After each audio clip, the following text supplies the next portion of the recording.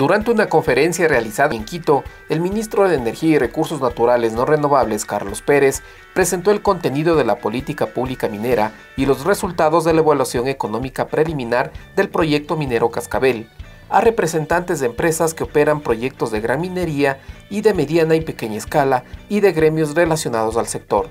El secretario de Estado destacó la inversión para el desarrollo del proyecto Cascabel, que genera actualmente 500 empleos directos, y el compromiso del gobierno nacional para el impulso de este sector bajo estrictas normas ambientales y sociales.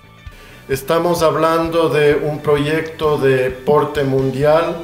Ya nos han dicho que somos número uno y número cinco, dependiendo si es oro o, cobre, en minas subterráneas y alrededor del número 8 en el total de la minería en el mundo. Para René Ayala, presidente de la Asociación de Ingenieros de Minas del Ecuador, el eje de la política pública minera sobre la investigación y el desarrollo es una gran oportunidad para los estudiantes de carreras afines a la minería. Pues es una gran oportunidad que tienen los ecuatorianos como estudiantes para poder desarrollar y también como docentes.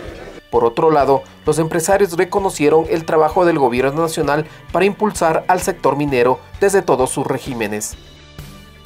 Agradecer que el gobierno nacional, el señor presidente de la República, el vicepresidente eh, en Zamora ya lo dijo, eh, es un pilar fuerte para el desarrollo del Ecuador, es un pilar fuerte porque necesitamos más recursos eh, para mucha inversión. Esta conferencia es la cuarta realizada sobre temas relacionados a la minería, impulsando el diálogo entre los diversos actores relacionados al sector. El gobierno de todos.